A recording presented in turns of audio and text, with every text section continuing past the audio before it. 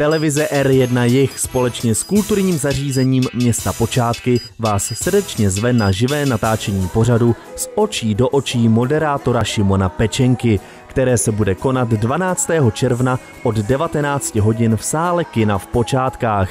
Hlavním hostem večera bude zpěvák Petr Bende a těšit se můžete také na baviče Josefa Mladého, zpěváka Kamila Emanuela Gota a další zajímavé hosty.